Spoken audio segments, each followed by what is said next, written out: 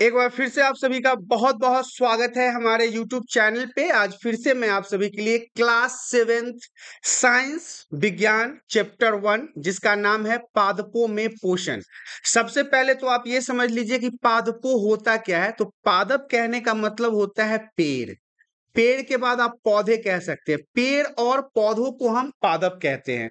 और पोषण का मतलब होता है खाना। जो भी न्यूट्रिएंट्स लेते हैं ना भोजन के रूप में, उसे हम पोषण कहते हैं। जैसे हर एक इंसान को अपने जीवन में जीने के लिए रोटी, चावल, केला, फल, फूल, दूध, मांस, मछली, अंडा, ये सब खाते हैं शक्ति के लिए। ऐसे ही पेड़ पौधों को भी ज़रूरत होता है भोजन का। क्योंकि वो भी तो सजीव है ना, वो भी तो लिविंग थिंग है ना।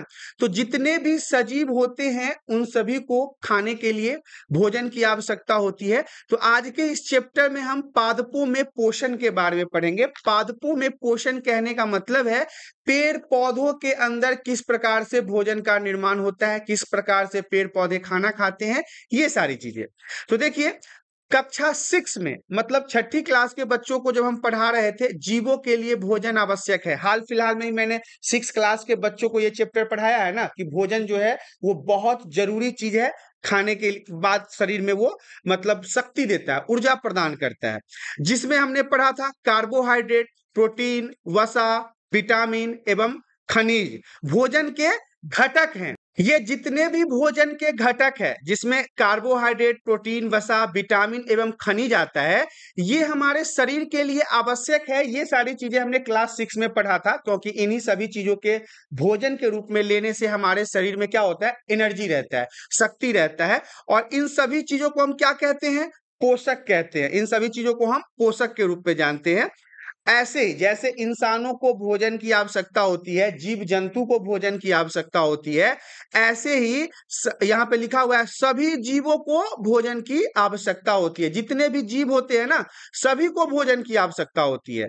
परंतु मानव सहित कोई भी प्राणी अपना भोजन स्वयं नहीं बना सकता। वे पादपों अथवा पादपों का आहार ग्रहण करने वाले जंतुओं से अपना भोजन प्राप्त करते हैं। देखिए, यहाँ पे बहुत बड़ी बात कह गई, कह गया कि जितने भी जंतु हैं ना, जितने भी मानव है ना, वो अपना भोजन खुद नहीं बनाते हैं। अब आप लोगों को लगता होगा, अरे यार, ये कैसी बात हो गई? मम्मी तो सुबह सुबह खुद ही खाना बनाती है, मम्मी तो खुद ही खाना बना के देती है, चूल्हे पे पकाती है दिस डैट ये सब। नहीं, अपना भोजन स्वयं पकाने का मतलब है कि खुद का बनाया हुआ खाना खाना। हम लोग तो गेहूँ चावल खाते हैं, मक्का खाते हैं, भात खाते हैं, दाल खाते हैं, दूध पीते हैं, अंडा खाते हैं, मांस खाते हैं, सब्ज़ी खाते हैं। तो ये तो पेड़ पौधों ने दिया है ना? हमने तो खुद नहीं बनाया है ना? हम जब खाना खुद बनाएँगे, तब हम उसको कहेंगे स्वयं के द्वारा बनाया गया खाना। तो यहाँ पे हम क्या करते हैं? दूसरे जंतु के ऊपर निर्भर करते हैं। अगर हम मीट खाते हैं या चिकन खाते हैं तो हमने किसी किसी न किसी जंतु को तो खाते हैं ना? अगर हम दूध पीते हैं तो वो तो गाय देती है। तो यही बात हो गया कि हम पादपों मतलब पेड़ पौधों पर निर्भर रहते हैं।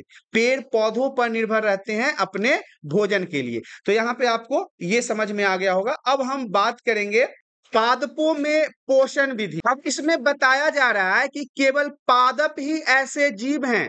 पादप मतलब पेड़ पौधे ही ऐसे जीव हैं जो जल, कार्बन डाइऑक्साइड एवं खनिज की सहायता से अपना भोजन स्वयं बनाते हैं। ध्यान से समझिएगा, केवल पेड़, पौधे ही पृथ्वी पर एक ऐसे जीव हैं जो खुद का भोजन खुद बनाते हैं। किसकी मदद से? पानी के मदद से, कार्बन डाइऑक्साइड की मदद से। कार्बन डाइऑक्साइड को हम सीओ भी कहते हैं। याद रखिएगा, कार्बन डाइऑक्साइड को हम सीओ के नाम से भी जानते हैं। इसके अलावा वो खनिज की सहायता से अपना भोजन पकाते हैं। ये सभी पदार्थ जो है, उनके परिवेश में उपलब्ध होते हैं। पेड़ पौधे ज़मीन के माध्यम से ये सारे चीज़ों को लेके अपना भोजन खुद बनाते हैं। पोषक पदार्थ सजीवों की शारीरिक संरचना, वृद्धि तथा क्षतिग्रस्त भागों के रख रखाव के लिए समर्थ बनाते हैं।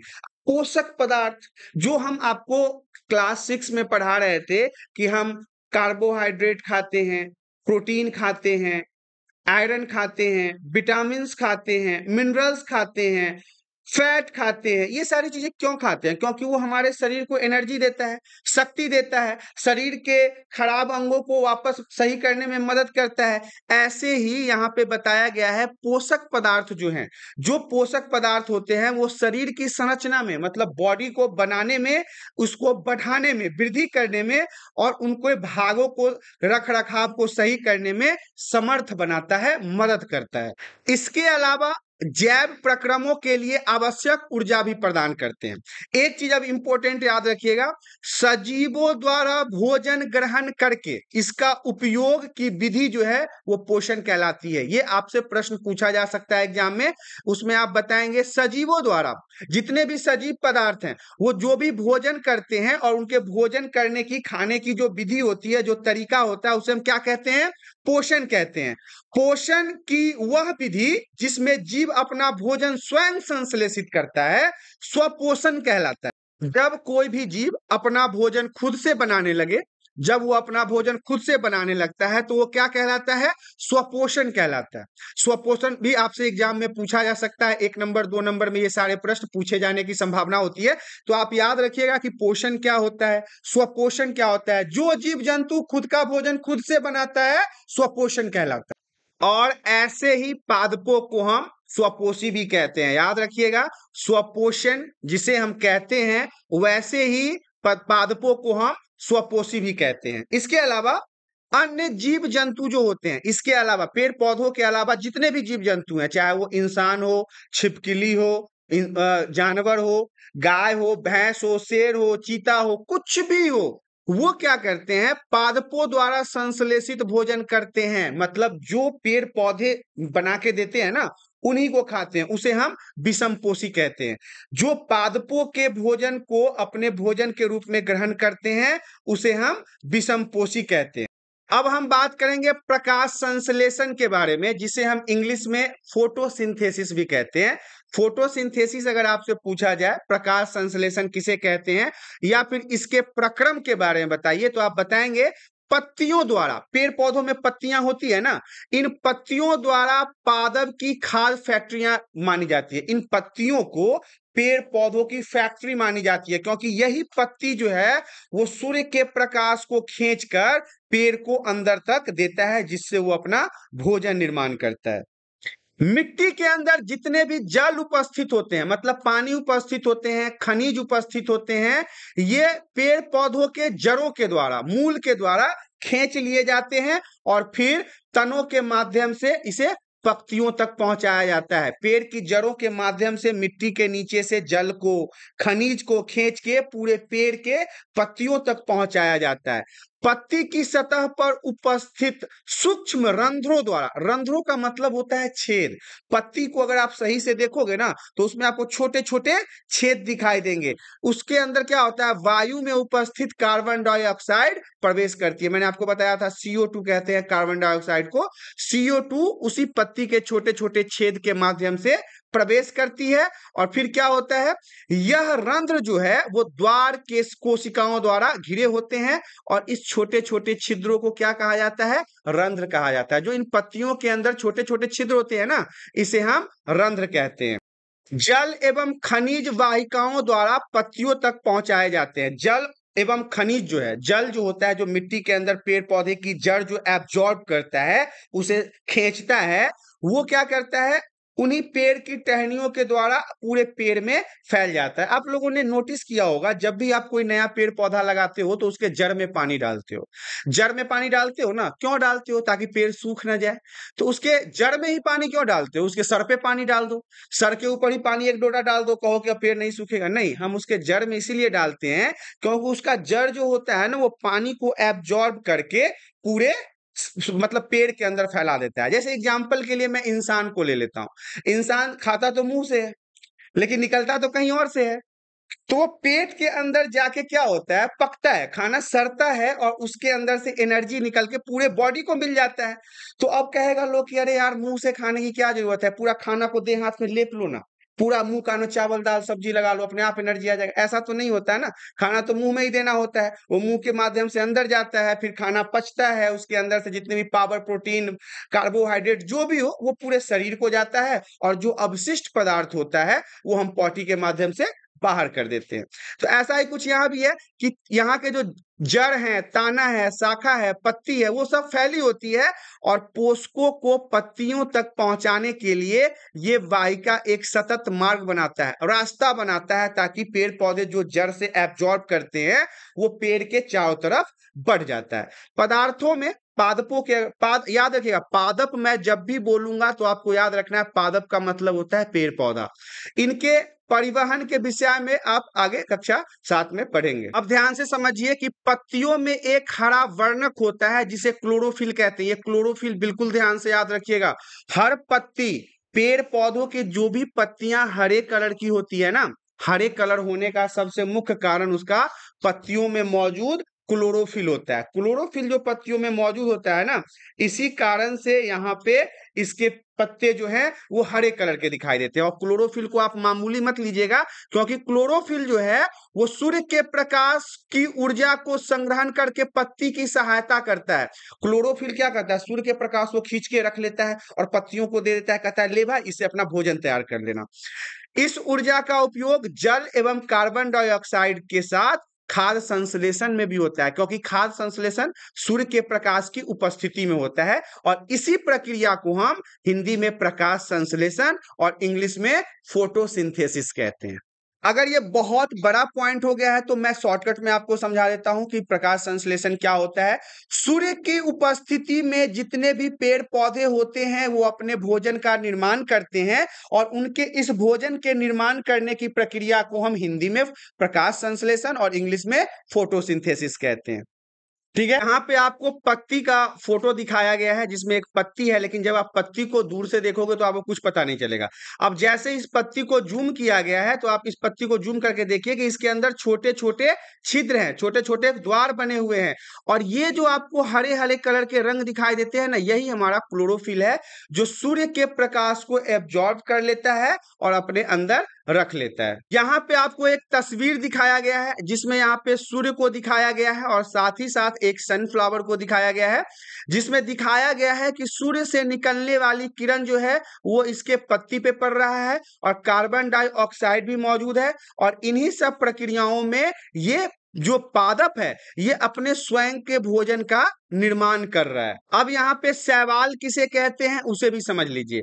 आपने गीली दीवार को देखा होगा जिसपे पानी लगा होता है, या फिर तालाब में देखा होगा, या फिर ठहरे हुए पानी। जो पानी ठहरा हुआ होता है, झील में, तालाब में, उसमें आपने देखा होगा कि उस पानी के ऊपर हरे हरे रंग का कुछ जम जाता है।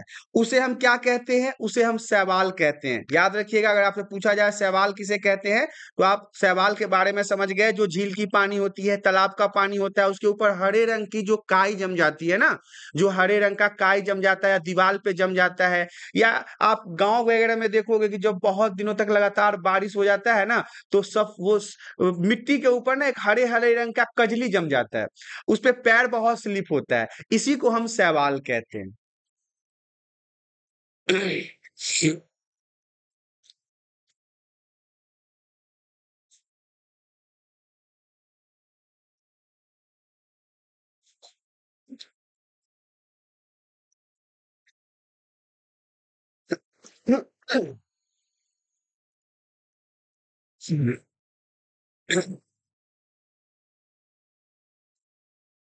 किताब में जो आधा पेज इधर, आधा इधर लिखा है ना, इसमें बड़ा दिक्कत होता है पढ़ाने में।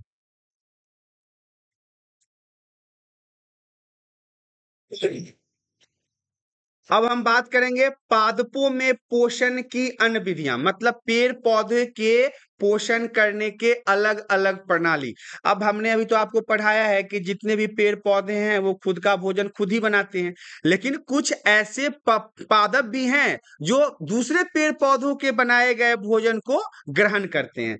देखिए जिनमें क्लोरोफिल नहीं पाया जाता, वे भोजन संश्लेषित नहीं कर सकते। ऐसे पेड़ पौधे जिसमें क्लोरोफिल नहीं पाया जाता, वो अपना भोजन तैयार नहीं कर सकते। तो देखिए, आपको एक चीज़ तस्वीर में दिखाता हूँ। ये आपको दिख रहा है पेड़ के ऊपर ये जो हरी हरी लत्तियाँ लतर गई है। फैल गई है, इसके अंदर पत्तियाँ नहीं होती, बस ये पेड़ों के ऊपर लतर जाता है। गाँव घर में इसे हम अमरलत्ती के नाम से जानते हैं। तो इसमें तो पत्तियाँ होता नहीं, और पत्तियाँ होगा नहीं तो क्लोरोफिल भी नहीं होगा, और क्लोरोफिल नहीं होगा तो क्या अपना ये भोजन बना सकता है? नहीं बना सकता, है ना? तो ये क्या करता है उसके बारे में सुनिए, कि ये इसके अंदर तो क्लोरोफिल है नहीं तो ये अपना भोजन का निर्माण कर नहीं पाएगा। तो मनुष्य एवं अन्य प्राणियों की तरह ये पादप भी, जैसे मनुष्य दूसरे के द्वारा भोजन ग्रहण करता है, ये पादप भी अपने पोषण के लिए अन्य पादपों द्वारा निर्मित खाद्य पर निर्भर होता है। मतलब दूसरे पेड़ पौधे के ऊपर चढ़ के उनसे अपना भोजन ले लेता है और इसी को हम विषम पोषी प्रणाली के नाम से जानते हैं। अब हम आपको बता देते हैं कि विषम पोषी क्या होता है। आपको अमर बेल, जिसे हम अमरलत्ती के बारे में आपको बताया ना, इसे अमर बेल भी कहा जाता है। अमर बेल इस पौधे का नाम है, इस पादप का नाम है, इसमें क्लोरोफिल नहीं होता है। इस जो ये जो हरा हरा आपको दिखाई दे रहा है ना, इसमें क्लोरोफिल नहीं होता। ये आरोहित होते हैं। मतलब दूसरों के द्वारा बनाए गए भोजन पर ही टिके होते हैं, इसीलिए इसे हम परपोषी कहते हैं। क्योंकि अमरबेल जैसे पादप, अर्थात पौधे परपोषी का अमूल्य पोषकों से वंचित करते हैं। इन्हें परजीवी भी कहा जाता है। ये क्या करता है? पेड़ पौधे जो अपने लिए भोजन बनाते हैं ना, उन्हीं को खा के उन्हीं से अपना जीवन चलाता है। इसलिए इसे हम परजीवी कहते हैं। मतलब दूसरे जीव के ऊपर रह के उसके भोजन को ग्रहण करना परजीवी कहलाता है। यहाँ पे जो आपको तस्वीर दिखाई दे रहा है ना, ये है तो पौधा, लेकिन ये क्या करता है पता है? ये कीड़े मकोड़ों को खाता है। ये जो इसका ढक्कन खुला हुआ है, इसमें कोई अगर कीड़ा घुस गया तो ये ढक्कन अपने आप बंद हो जाएगा। और ये तब तक बंद रहेगा जब तक उस कीड़े के पूरे खून को उसके अंदर के मौजूद रस को चूस न ले। और ये उसके अंदर के रस को चूस के पेड़ पौधे अपने शक्ति को बढ़ाते हैं। तो इनके बारे में जान लेते हैं, ये होता क्या है? देखिए, इसमें आपको पढ़ना है जो, इसको हम क्या कहते हैं? कीट भक्षी पादप कहते हैं। जो पादप, जो पौधे दूसरे कीटों को खा के ज़िंदा रहते हैं, उन्हें हम कीट भक्षी पादप कहते हैं। ये क्या होता है? मैंने आपको जैसे बताया है कि ये इन रोम के अंदर मतलब इन छेदों के अंदर, छेद को हम रोम भी कहते हैं, उनके रोमों में ये जाकर क्या होता है? फंस जाता है। कीट जो होते हैं, कीड़े जो होते हैं, वो जाकर फंस जाते हैं और इसका जो घड़ा जैसा डिज़ाइन होता है, उसमें उपस्थित पाचक रस द्वारा कीटों का पाचन हो जाता है कीटों को अंदर ही एब्जॉर्ब कर लिया जाता है। कीटों का भक्षण करने वाले ऐसे पादप को क्या कहते हैं? कीट भक्षी पादप कहते हैं मतलब कीड़े खाने वाले पादप कहते हैं। इसके बाद हमारा टॉपिक है मृत जीवी किसे कहते हैं? मृत जीवी क्या होता है? वेरी वेरी इंपॉर्टेंट रहेगा वीवीआई मृत जीवी क्या होता है? तो देखिए, आपने बाज़ार में मशरूम बिकते हुए देखा होगा, मशरूम आप लोगों ने खाया भी होगा, सब्ज़ी होता है, इसका काफ़ी लोग पसंद करते हैं। मुझे अच्छा नहीं लगता मशरूम की सब्ज़ी, मुझे बड़ा बेकार सा लगता है, लेकिन बहुत लोगों को मशरूम की सब्ज़ी अच्छी लगती है। तो आपने बिकते हुए देखा होगा वर्षा के दिनों में क्या होता है ना, यहाँ तो मशरूम आपने बिकते हुए देखा होगा, अपने गाँव वगैरह में आप जाओगे ना तो उसे हम गोबर छत्ता कहते हैं। बारिश के मौसम में वो उग जाता है, छत्ता छत्ता टाइप का, बड़ा मुलायम होता है, उसको पकड़ोगे ना तो टूट फूट जाएगा, लसर लसर हो जाएगा पूरा। तो मित्र जीवी को समझिएगा क्या होता है वर्षा के दिनों में वृक्षों मतलब पेड़ पौधों की सड़ी गली टूटी टहनियों अथवा तनों या छाल पर छाते के समान ये उग जाता है। इसका जो आकार होता है ना वो छाते की तरह होगा। तो ऐसे ही मैं आपको इमेज में दिखा देता हूँ कैसा होता है। ये देखिए ये है इसे मस, ये तो मशरूम जैसा ही लग रहा है लेकिन ये गोबर छत्ता आप कह सकते हो इसको। ये ऐसे ही पेड़ पौधों के ऊपर उग जाता है। इस प्रकार के पोषकों की आवश्यकता हो। जीवन यापन हेतु इन्हें किसी प्रकार के भोजन की आवश्यकता होती है। तो अब हम बात करेंगे इन्हें वो पोषक प्राप्त कहाँ से होता है? कहाँ से प्राप्त करते हैं ये? तो देखिए, इस प्रकार की पोषक प्रणाली जिसमें जीव किसी मृत या विघटित जैविक पदार्थों से पोषक प्राप्त करते हैं। ध्यान से समझिएगा ऐसा समय जिसमें किसी मरे हुए पेड़ पौधे से या मरे हुए जीव जंतु से अगर कोई दूसरा जीव जंतु अपना भोजन प्राप्त कर रहा हो तो उसे हम मृत जीवी पोषक कहते हैं। मृत जीवी पोषक प्रणाली का उपयोग करने वाले जीव मृत जीवी कहलाते हैं। मतलब अब देखिए, मैं एग्ज़ाम्पल के लिए बता देता हूँ कि कभी कभी कोई चीज़ खराब हो जाता है। जैसे कि मान लो कुछ मांस का टुकड़ा ले लो। मांस के टुकड़े को दस दिन के लिए छोड़ दो तो क्या होगा? वो सड़ जाएगा, उसमें कीड़े लग जाएँगे उस मांस के टुकड़े से वो कीड़ा क्या करेगा? अपना भोजन प्राप्त करेगा। मांस को नोच नोच के खाएगा। तो इसे हम मृत जीवी कहते हैं और ऐसे जीव को हम मृत जीवी जीव कहते हैं। ठीक है? आपको जो मैं बताने वाला हूँ वो सुनिए। कवक, जिसे हम फंजाई कहते हैं। अचार, चमड़े, कपड़े एवं अन्य पदार्थों पर उग जाते हैं। जिस अचार को हम चटकारे मार के खाते हैं कभी कभी आप देखते होंगे उस अचार के ऊपर सफ़ेद सफ़ेद सा कुछ जम जाता है। जिसे हम नुनछी वगैरह कहते हैं, जो चाटने में ना खट्टा खट्टा टाइप का फील होगा। तो देखिए, ये वही है, कवक ही है फंजाई है हालाँकि वो मुझे, हमारे शरीर में वो खराबी नहीं करता। देखो, जैसे जीव कुछ अच्छे होते हैं, कुछ बुरे होते हैं, ऐसे ही सूक्ष्म जीव भी कुछ अच्छे और कुछ बुरे होते हैं। तो अब मैं यहाँ पे बताऊँ कि कबकों की वृद्धि के लिए वर्षा ऋतु सबसे अच्छी परिस्थितियाँ प्रदान करती है। कवक जो होता है उनके विकास के लिए जो वर्षा ऋतु है, वो सबसे अच्छा माना जाता है। इसी कारण वर्षा ऋतु के दौरान अनेक वस्तुएँ कवकों की वृद्धि के चपेट, नष्ट और अनुपयोगी हो जाते हैं। इसी के साथ साथ यहाँ पे क्रियाकलाप भी किया गया है, जिसे समझना आपके लिए ज़रूरी है। ब्रेड, आप जो पाव रोटी या डबल रोटी या ब्रेड खाते हैं, उसका एक टुकड़ा ले लेना है आपको और इसे पानी से भिगो देना है। और फिर किसी नम एवं उस उष्ण स्थान पर दो तीन दिन के लिए रख दीजिए। किसी खाली स्थान पर उसको दो तीन दिन के लिए छोड़ दीजिए, जहाँ पे धूप ना जाता हो, ठीक है? अथवा उस समय तक रखा रहने दीजिए जब तक कि उस पर रुए जैसी संरचनाएँ न उग जाए। जब तक कि उस पर फुफुंदी न लग जाए, तब तक उस ब्रेड को आप वैसे ही छोड़ दीजिए। अब आपको यहाँ पे देखिए, नीचे पे आपको बताया गया है, ये आपको दिखाई दे रहा है, ऐसा ही ब्रेड होता है, जो हम लोग चाय वगैरह के साथ लेते हैं तो कहा कहा गया है कि उसे पानी डाल के छोड़ दीजिए दो तीन दिन के लिए, जब तक कि उस पर ऐसा फुफुंदी ना लग जाए, लग ना जाए कि वो सर रहा है। उसके बाद आपको क्या करना है, आप जब वो फुफुंदी लग जाए तो इसके धब्बे किस रंग के हैं, उसको आपको एब्जॉर्ब करना है। आप सूक्ष्मदर्शी की सहायता से मतलब कि माइक्रोस्कोप की सहायता से उसको देख सकते हैं। आप क्या देखेंगे कि एक जीव कवक या फंजाई जो है उस पर उग गया है। जो उस पर फुंदी लग गया है ना, जो उस पर फुंदी व्हाइट व्हाइट का हो गया, उसे हम क्या कहते हैं? कवक या फंजाई कहते हैं। इसकी पोषण प्रणाली, पोषण विधि भिन्न प्रकार की होती है। ये मृत एवं विघटनकारी सड़ने वाली वस्तुओं की सतह पर कुछ पाचक रसों का श्राव करते हैं और उसे साधारण एवं विलय के रूप में परिवर्तित कर देते हैं। कुछ ऐसे जीव जंतु भी हैं जो एक दूसरे के साथ रहते हैं और अपना आवास एवं भोजन तत्व तो एक दूसरे के साथ बांटते हैं। मतलब आपस में बांट चीट के वो एक जगह पे रहते हैं, खाते हैं। ऐसे जीव को हम सहजीवी संबंध के रूप में जानते हैं। उदाहरण के लिए कुछ कवक जो है वो वृक्षों की जड़ों में रहते हैं और वृक्ष कवक को पोषण प्रदान करते हैं। बदले में उन्हें जल एवं पोषकों की अवशोषण में सहायता मिलती है। वृक्ष के लिए इस संबंध का विशेष महत्व। अगला पॉइंट है हमारा लाइकेन के बारे में। लाइकेन भी इंपॉर्टेंट पॉइंट है। लाइकेन कहे जाने वाले कुछ जीवों के दो भागीदार होते हैं। दो भागीदार कहने का मतलब दो अलग अलग सहायता करने वाले होते हैं। इसमें से एक सैवाल होता है और दूसरा कवक होता है। सैवाल और कवक के बारे में हमने चर्चा किया है।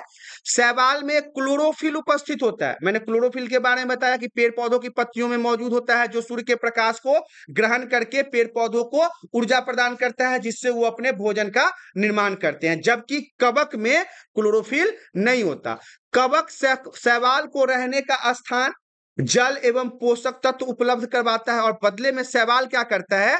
प्रकाश संश्लेषण द्वारा संश्लेषित खाद कवक को देता है। अब जिसमें क्लोरोफिल नहीं है, वो तो भोजन का निर्माण कर नहीं पाएगा। और आपको पता है, कोई भी जीव जंतु बिना भोजन के वो ज़िंदा रह सकता है? नहीं रह सकता है। तो ऐसे में भोजन बनाने के लिए ये दोनों एक दूसरे की सहायता करते हैं। एक के पास क्लोरोफिल नहीं है तो वो दूसरा क्या करता है? उसे पानी ला के दे देता है, खनिज ला के दे देता है और दूसरा क्या करता है? बदले में भोजन पका के उसको दे देता है। जैसे दो व्यक्ति है, एक के पास आटा है और दूसरे के पास सब्ज़ी है तो क्या करेंगे? आटा वाला कहेगा, रुक जाओ, मैं अपना रोटी बना देता हूँ। सब्ज़ी वाला बोलेगा, रुक जाओ, मैं अपना सब्ज़ी बना लेता हूँ। फिर दोनों मिलकर रोटी सब्ज़ी खा सकते हैं। नहीं तो क्या होगा? एक रोटी रोटी खाएगा, एक सब्ज़ी सब्ज़ी खाएगा। तो अच्छा नहीं लगेगा ना? तो दोनों मिलकर अगर बैठ के खाएँगे, दोनों रोटी और सब्ज़ी दोनों खा सकते हैं। और खाने के लिए रोटी और सब्ज़ी दोनों ज़रूरी होता है। अब यहाँ पे हम राइजोबियम के बारे में जान लेते हैं। पादपों को प्रोटीन बनाने के लिए सामान्यतः नाइट्रोजन की अधिक आवश्यकता होती है। याद रखिएगा, पादपों को पेड़ पौधों को प्रोटीन का निर्माण करने के लिए सबसे ज़्यादा किस गैस की आवश्यकता होती है? नाइट्रोजन की।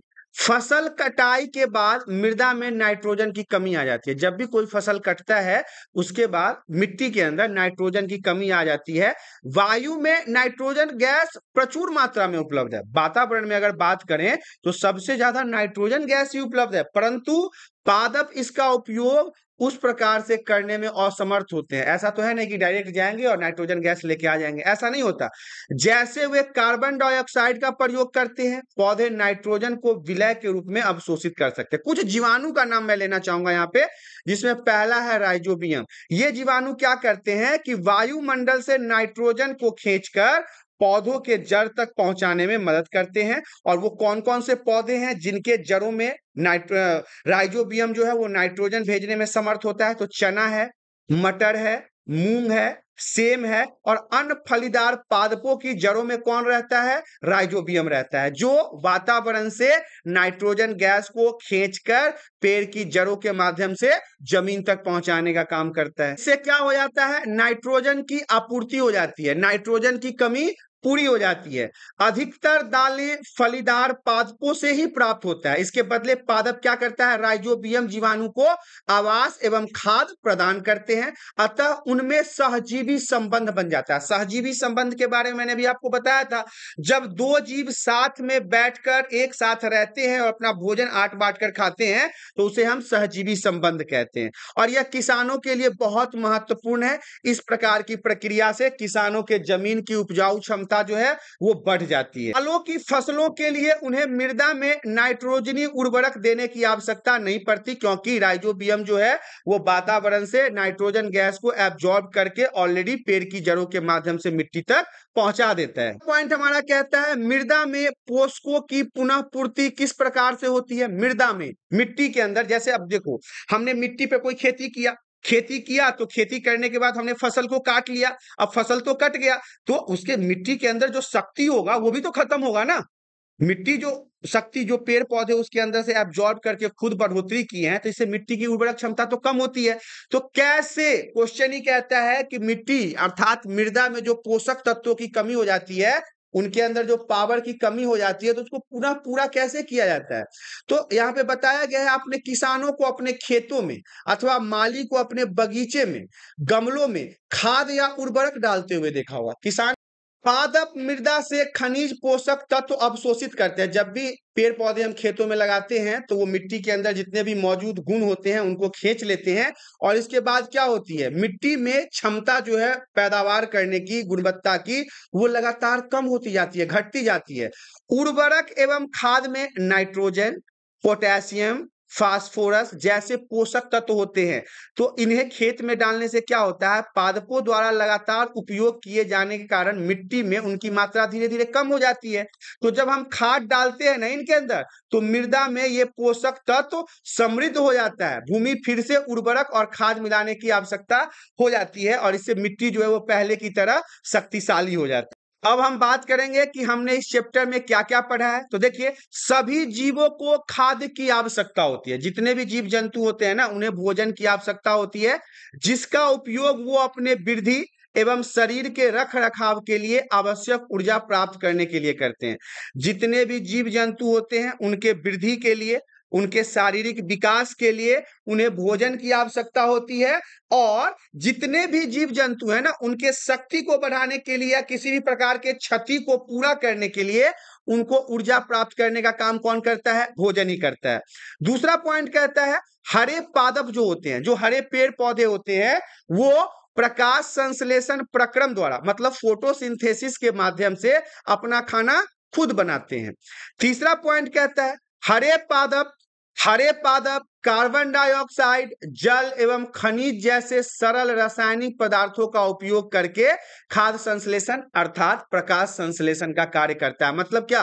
कार्बन डाइऑक्साइड होना चाहिए, जल होना चाहिए, खनिज होना चाहिए, तब जाके ये अपना भोजन निर्माण कर सकता है। जैसे हम, हमारी बात कर लो एग्ज़ाम्पल के लिए, हमारे घर में हम भोजन कब बना सकते हैं? तब चावल होगा, दाल होगा, नमक होगा, हल्दी होगा, आलू होगा, गोभी होगा, तेल होगा, मसाले होंगे, तेज पत्ता, जीरा, धनिया, मिर्चाई, ये सारी चीज़ें तो चाहिए ना। तभी तो हम भोजन बनाएँगे ना। इस प्रकार से पेड़ पौधों के लिए क्या चाहिए? कार्बन डाइऑक्साइड, जल, खनिज। तभी जाके वो अपना भोजन निर्माण कर सकते हैं। अगला पॉइंट हमारा कहता है, प्रकाश संश्लेषण के लिए क्लोरोफिल एवं सूर्य के प्रकाश अनिवार्य रूप से आवश्यक है। प्रकाश संश्लेषण के लिए मतलब भोजन बनाने के लिए, पौधों के लिए क्या क्या ज़रूरत है? क्लोरोफिल की ज़रूरत होती है, सूर्य के प्रकाश की ज़रूरत होती है, तभी जाके वो अपना भोजन का निर्माण कर सकते हैं। अगला पॉइंट हमारा कहता है कार्बोहाइड्रेट जैसे जटिल रासायनिक पदार्थ प्रकाश संश्लेषण के उत्पाद है। कार्बोहाइड्रेट ये जो जटिल रासायनिक पदार्थ है, ये प्रकाश संश्लेषण के उत्पाद के रूप में जाना जाता है। प्रकाश संश्लेषण के प्रक्रम में मतलब जब भी प्रकाश संश्लेषण हो रहा होता है, उसमें क्लोरोफिल बहुत महत्वपूर्ण है, क्योंकि क्लोरोफिल की सहायता से ही जो पत्तियाँ होती है पेड़ पौधों का, वो सौर ऊर्जा का संचयन करता है। मतलब ऊर्जा, सूर्य के प्रकाश को एक पेड़ के अंदर पहुँचाने में कार्य करता है। प्रकाश संश्लेषण में ऑक्सीजन उत्पादित होता है, याद रखिएगा, जब भी पेड़ पौधा भोजन बनाता है तो पेड़ पौधों के अंदर से O2 ऑक्सीजन को हम O2 कहते हैं और कार्बन डाइऑक्साइड को CO2 कहते हैं, ये चीज़ याद रखिएगा। तो ऑक्सीजन उत्पादित होता है वो ऑक्सीजन को छोड़ता है। इसलिए हम कहते हैं कि ज़्यादा से ज़्यादा पेड़ पौधों को लगाना चाहिए, क्योंकि हम कौन सा गैस लेते हैं? ना कि मैं ऑक्सीजन ग्रहण करते हैं ना? और कार्बन डाइऑक्साइड छोड़ते हैं। और पेड़ पौधे क्या करते हैं? कार्बन डाइऑक्साइड लेते हैं और ऑक्सीजन छोड़ते हैं। तो वो ऑक्सीजन छोड़ेंगे तभी तो हम ग्रहण करेंगे ना। अगर पेड़ पौधे ही नहीं रहेंगे तो हम ऑक्सीजन लिए बिना ही मर जाएँगे।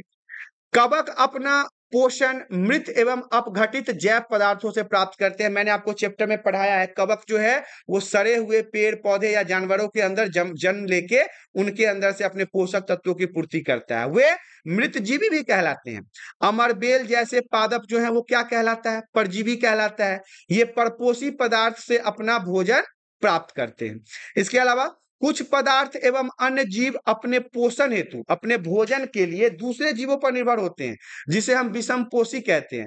कुछ पादप एवं सभी जीव, याद रखिए कुछ पादप एवं सभी जीव दूसरों जीवों पर निर्भर रहते हैं। अगर आपसे एग्ज़ाम्पल के रूप में पूछा जाए, इंसान कौन सी श्रेणी में आएगा तो आप क्या कहोगे? वो विषम पोषी होता है, क्योंकि हम मानव भी जो है, अपने भोजन के लिए तो दूसरे पे ही आश्रित होते हैं ना। तो यहाँ पे ये सारी चीज़ें हो गया। अब यहाँ पे प्रमुख शब्द को आपको ध्यान से देखना है। आपको कॉपी में लिखना है कि स्वपोषी किसे कहते हैं? क्लोरोफिल क्या होता है? विषम पोषी क्या होता है? परपोषी क्या होता है? कीट भक्षी पादप क्या है? पोषक क्या है, परजीवी क्या है, प्रकाश संश्लेषण क्या होता है मृत जीवी क्या है, रंध्र क्या है, सहजीवी संबंध क्या है और कवक क्या है। ये सारे पॉइंट्स लगभग लगभग मैंने आपको चैप्टर में पढ़ा दिया है। आपने क्या सीखा, इसके भी सारे पॉइंट्स को मैंने समझा दिया। अब अगर हम अभ्यास के प्रश्नों की बात कर लें सबसे पहला प्रश्न कहता है, जीवों को खाद्य की आवश्यकता क्यों होती है? तो आप सभी बच्चों को पता चल गया होगा कि जीवों को भोजन की आवश्यकता क्यों होती है। परजीवी एवं मृत जीवी में अंतर स्पष्ट करना है, ये भी प्रश्न आप कर लेंगे। इस प्रकार से यहाँ पे टोटल प्रश्नों की संख्या जो है, वो नौ, दस, ग्यारह, बारह बारह प्रश्न आपको यहाँ पे दिए गए हैं और आपको इन बारहों प्रश्न को कॉपी में करके चेक करवाना है ताकि आपका जो पहला चैप्टर है वो यहाँ पे मैं समझ जाऊँ कि आपको सही तरीके से समझ में आ गया। इसके अलावा, यदि आपको कोई प्रश्न समझ में नहीं आया है तो आप हमें कमेंट करके बताएँ। साथ ही साथ आपको ये बताना है कमेंट में कि क्लोरोफिल क्या होता है और कहाँ मौजूद होता है? ये आपके कमेंट के लिए क्वेश्चन रहेंगे कि क्लोरोफिल क्या होता है। चैप्टर का नाम था पादपों में पोषण। यहाँ पे पूर्ण रूप से समाप्त हो गया है। आशा करता हूँ वीडियो में दी गई जानकारी आप सभी को पसंद आया होगा। जानकारी पसंद आया तो वीडियो को लाइक और चैनल पे पहली बार आया है तो चैनल को सब्सक्राइब कर ले ताकि इसी प्रकार के एजुकेशनल वीडियो आपको हमेशा प्राप्त होता रहे। आज के लिए इतना ही। धन्यवाद।